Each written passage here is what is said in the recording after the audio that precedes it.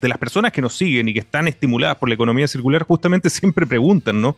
¿Cómo comenzar esta transición, este camino hacia la circularidad y a la sustentabilidad? Y, y, yo siempre contesto, es conociendo tus procesos, es midiendo. Tú ya estás dando claras señales de la importancia que tiene la tecnología, por ejemplo, también en medir para saber qué está ocurriendo y justamente se encuentran con estos saltos cualitativos espectaculares que están logrando desde Soprole, por lo demás una empresa y una marca tan reconocida y tan querida eh, por todos nosotros aquí en Chile. Y señalaste eh, un punto que ya habíamos tratado en, la, en el podcast anterior, eh, esta gran iniciativa que es Sonrisa Circular, una iniciativa que busca dar una solución integral a los residuos que se generan en la industria láctea en el país.